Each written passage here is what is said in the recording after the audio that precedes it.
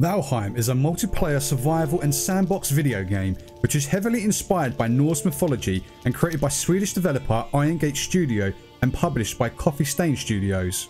Valheim takes place in a world where slain Vikings go to prove themselves fit for the halls of Valhalla. As one such, the player begins with nothing and to survive, the player must gather natural resources found throughout the world by foraging or hunting. In this video, I'll be going over the gameplay mechanics, combat, and the crafting aspects of Valheim, and then giving you 5 reasons as to why you should download this game on the Xbox Game Pass. Valheim Mistlands. So I've been quite excited to play this game. It's been in my watch list for a while now, so let's get straight into it. Start a game and create a new character. So not much in the character customization, there's not a lot of options you have for this. I don't know if this will change because this is game preview at the moment. So they may add some more customization to your character. But at the moment, you've got male, female, and then skin tone. So I think I'll just go for the standard down the middle. As for hair, let's pick a decent Viking looking hair, shall we? Gathered braids. Oh, that looked pretty good actually. I quite like that. Gotta give myself a beard. Oh, beard looked pretty good, actually. That also looks very good. Oh, we've got the twin-tailed. Oh, damn, that is an epic beard. That's a dwarven epic beard. Oh, there's quite a few beard choices. I quite like that. Yeah, we're going to go for this epic beard look. As for hair tone, I think try and get myself as brown as possible. So instead of an actual color chart, they've got hair tone and blondness. So you can make yourself extremely blonde with, or very, oh, make yourself like an old man, sort of whitish hair. Looks pretty epic. So I want to try and go for like a dark brown color. Kind of match my hair a little bit. I think that looks good. As for name, we are going to give this guy the name Spazzles. A very Viking name, as you know.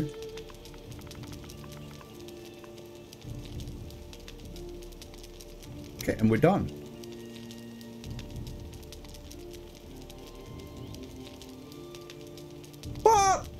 Never used to be like this. Well, I used to always used to be able to use the name Spazzles, and for some reason they banned it for a long while. Okay, I'm going to think of an actual Viking name that I can use. Bjorn Ironside. So when you've created a character, you can either select start new game, start new world. I do already have a new world, which I'm using uh, in my own spare time. So I will be starting a new game for the purposes of this video. Uh, so you can either start a new game or join a new game. If you have a friend who already has a world, you can join them. Obviously, if they give you a password, a lot of times when you have these new worlds, have your own server and everything, you do usually have to set a password. Or you just get that from your friend and you can join their server. So we're going to start that and get on with the game. Okay, so now we're entering the world. Get a little cutscene. Kind of give you a bit of backstory of where you are right now. So the idea of the game is that you are a fallen Viking who has been picked up by one of the Valkyries sent by Odin. So I am actually assuming the, the, the thing that's carrying us now is actually a Valkyrie. Not quite what we've been depicted in the Norse mythology books, but I'll take it because it looks pretty cool. Also, it could also be either Hugin or Mugen because uh, it's very ravenish, um, this bird that's carrying us. It's, it's got like a humanoid kind of like look to it as well. So that's why I thought it might be a Valkyrie. But then it's got this raven outlook, you know, kind of look as well. So I, I know it's definitely not Hugin. Hugin's the, uh, we'll see in a minute. Unless that actually was Hugin that carried us just then. It could have been Hugin. Could have been Hugin that carried us. Okay, welcome to the 10th world. I'm Hugin. I'm here to send you on your travels. Okay, so Hugin in the game is kind of like someone who guides you and gives you little hints here and there to kind of get you on the right path of obviously completing the game and just basically surviving. So we're going to look at this and get our mark for our first prey.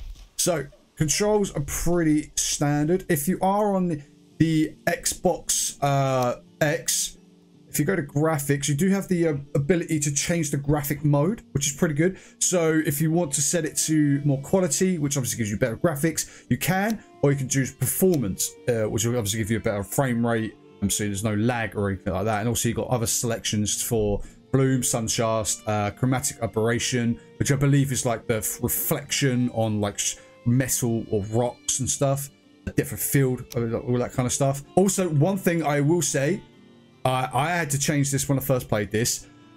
Reduce the music volume down as soon as you start playing this game because, oh my god, this will blow your eardrums out. So I've already thankfully got it set from my previous save. So let's go out and uh, explore the world. So the first things first we're going to be looking for is some wood. So to start gathering wood, uh, you, you want to start off by um, uh, getting the beach and then pressing RB on the Xbox controller. You just keep punching the wood. A standard survival game that you start. Okay, I keep missing the wood. There we go. Now we've got some wood. We start making some equipment. Oh, we got our first test of combat. Railing. Oh yeah, I'm getting more and better at my boxing skill. Ah, oh, taste my fists.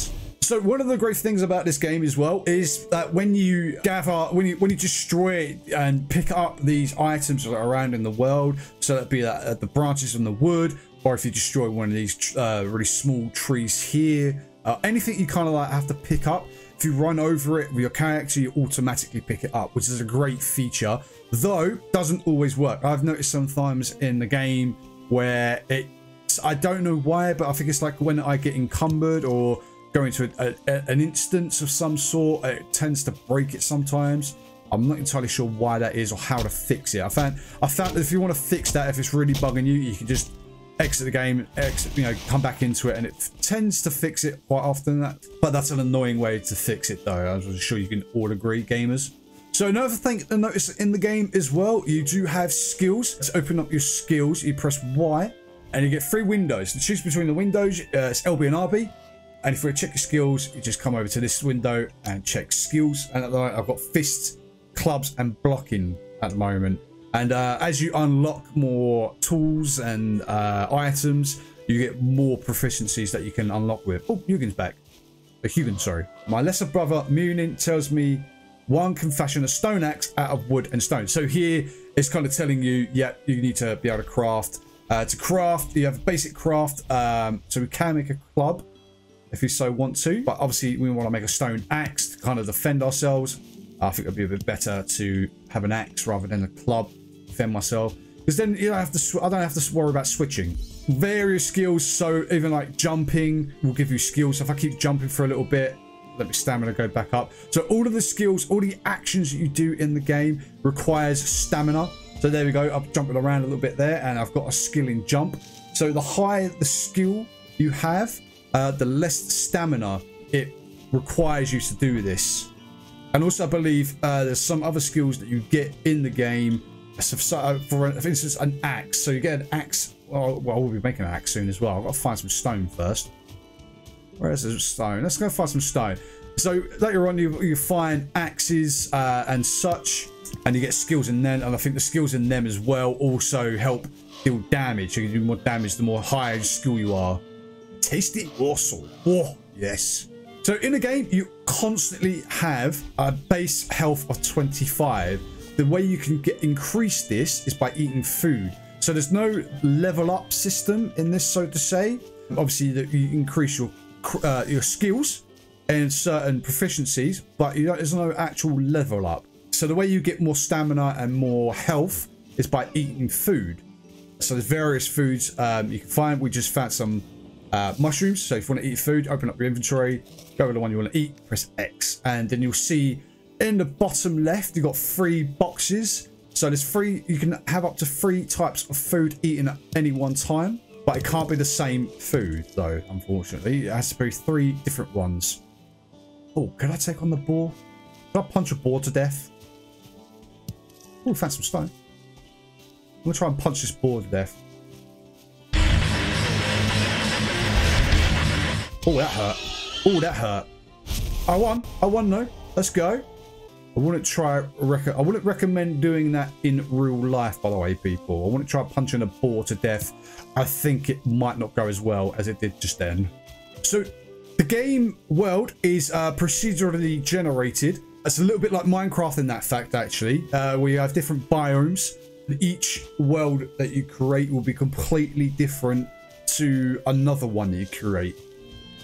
Oh, this is cool. Okay, so in the game as well, you actually do find remnants of like other civil, like people that have lived here before.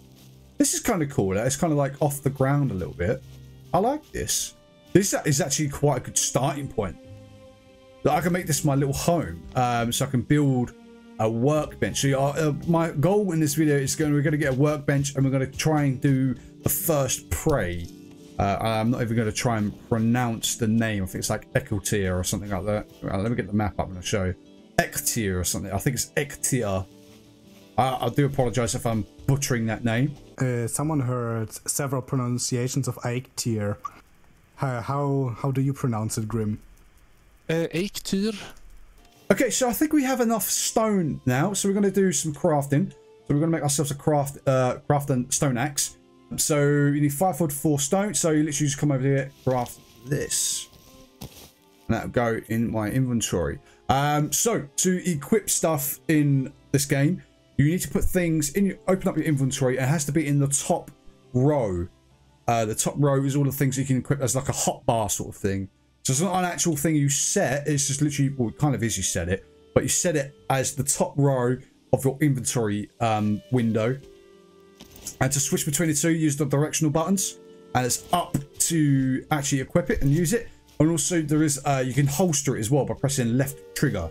And so later on, when, if we get shield, which I'm hoping we do, because that will really help against the first prey, you can equip you know, press up to use the axe and the shield, have them both in your hands, press LT, holster them and put it on your back. Then you won't have to worry about pressing up and up on both items. You just press LT and pull them back, pull both back out.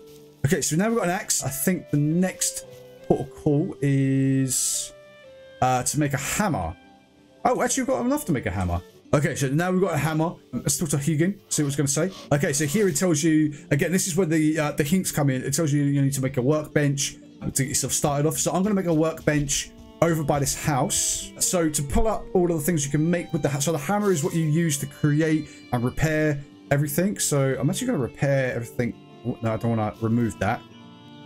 Oh, I need a crafting station first. Okay, so let's make myself the workbench. So workbench, I need 10 wood. Let's go make some more wood. I'm gonna make wood. I didn't know I can make wood. I can grow wood. I can't make wood. Hmm. Little disclaimer for you guys, because I learned this the hard way when I was playing with my friends. When you chop a tree down, make sure you don't stand underneath it when it falls, because it will kill you. A bit like real physics. Like that. If I had stood underneath that, that would have absolutely destroyed me. Alright, so now we've got enough wood to make our workbench. Let's place our workbench now. Lovely. That's going to unlock a ton of more stuff. So, something to bear in mind as well, make sure when you are in, We've got the hammer equipped, to not press LB, because um, that will destroy things, and you don't want to be doing that, and it's a bit annoying. Uh, the workbench allows you to craft complex items, as well as giving you access to lots of more building pieces to construct with the hammer. Thanks, Hugin. One little gripe I do have with this game, and that's to do with the crafting and building aspect, or the more, more of the building aspect of things. So, and I guess it's kind of realistic in a way as well, uh, for, to some extent. So when you do have your hammer equipped, you can't actually, if you place something down already, you can't then pick it up and move it. You then have to destroy it, which it will give you back all of the materials, but it's just slightly annoying that you have to destroy it and rebuild it one, one little gripe about this game with the building. So that's pretty cool as well. Something I've, I've not actually noticed in the game before yet is um, if buildings are damaged, like you can see here, the, the, this building is quite damaged. It, it actually looks visibly damaged as well, which is quite cool. So nice, nice little attention to detail there. I like that. If I was to destroy these support pillars that you see here, all four of them, this whole house would collapse.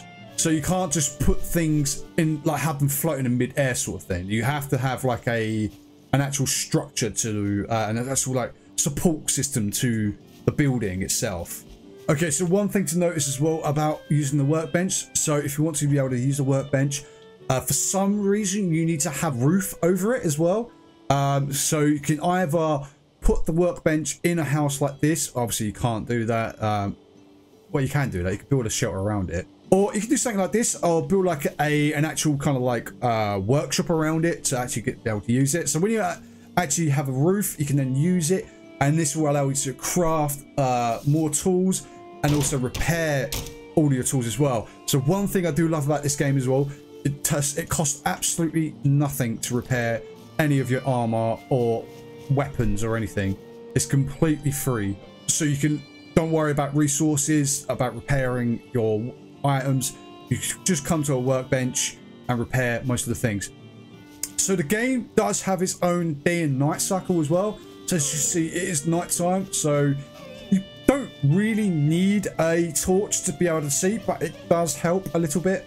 When the temperature drops at night, or if you are wet, you will suffer from being cold. This reduces your stamina regeneration. So you seek, seek shelter by an open flame uh, is your best bet, and that will dry you up and get you nice and cozy.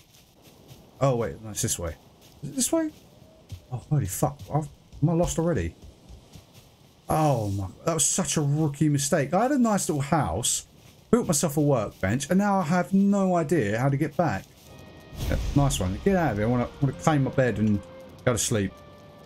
So you can sleep uh, away the, the darkness, well not darkness, but the nighttime cycle. Wake up feeling refreshed, rested. Um, so this is why it's quite important to have a home. So you get this buff called rested. You can increase the duration.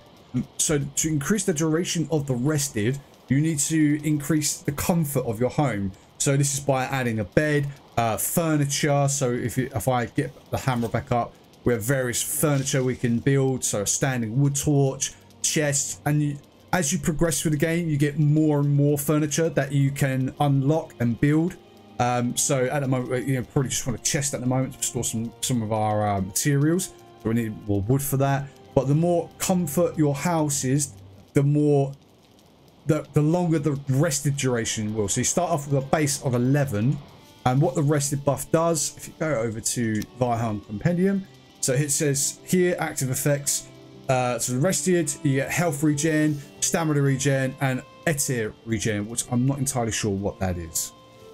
Starting from very, very humble beginnings, but soon fortresses. Oh, get out of here. Get wrecked. So for the combat in this game, there is no um, like target locking. So you, you do have to kind of keep an eye on your crosshairs and use that to like this. Crosshairs. So you have to aim your crosshairs at the enemy and make sure you're facing that enemy as well. Oh, that's not my home. Oh, uh, that was not my home. Why, why are you there?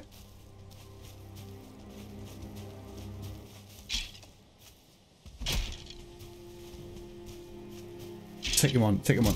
Oh, oh, ah, aye. Oh, man.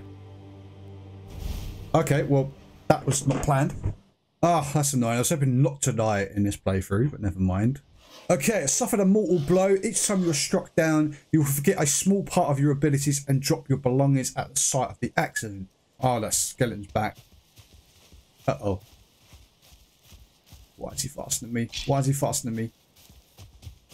Quickly grab our stuff and get out. Oh, we still retain the portion of damage that we... So you can do a dodge roll by blocking. And also you can block with your weapon as well.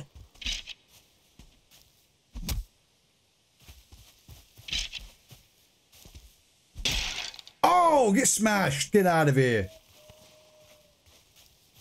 You are done. You are done, son. Good morning. Thank you very much. I like it gives you this last little message of when you wake back, when you wake up, because you're, oh, good morning. I, I, I, don't know what it is. I can't, I like that for some reason. There we go. So now we can start making some actual gear. Uh, so now we've got the chopping block. We've upgraded the workbench to a level one, uh, or level two, sorry, now. So now we can go out and start farming some of these deer to get their deer hide to make this leather pants and tunics and stuff.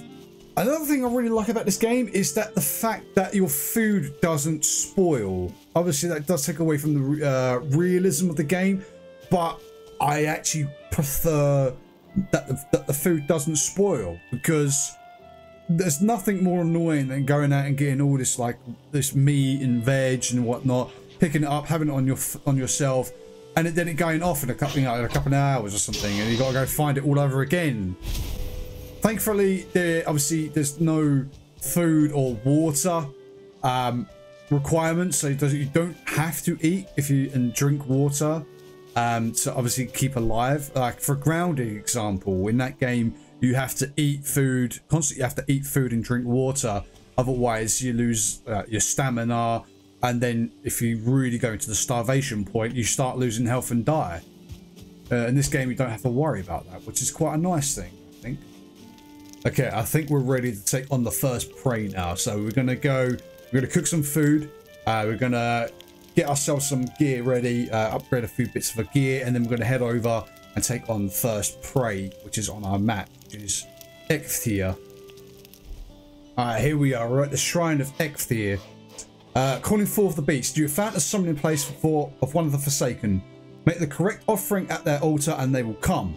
Beware though, the Forsaken are not easy prey, so craft a wicked weapon, don your finest armor, and eat a hearty meal before engaging them in combat.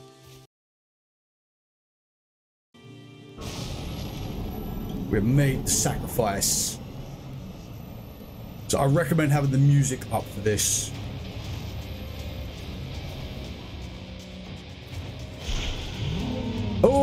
He is. In all his majestic glory. Oh!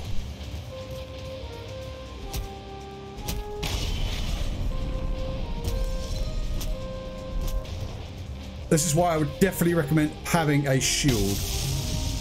This is so much easier with a shield equipped.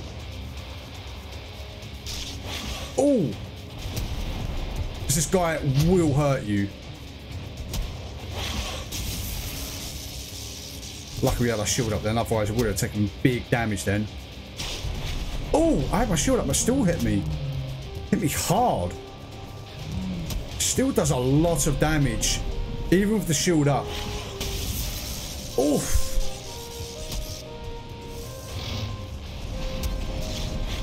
Ow.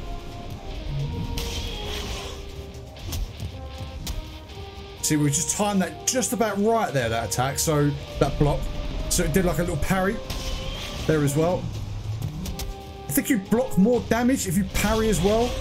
So then we blocked... Oh, no. It does take stamina though. When you block an attack, it does take up some of your stamina. Couple of more hits. Come on. Ah, we got him down. Let's go. Ah, sorry, mate. You're dead now. Oh, there's Shugin. All these glorious birdness. Okay, congratulations, warrior.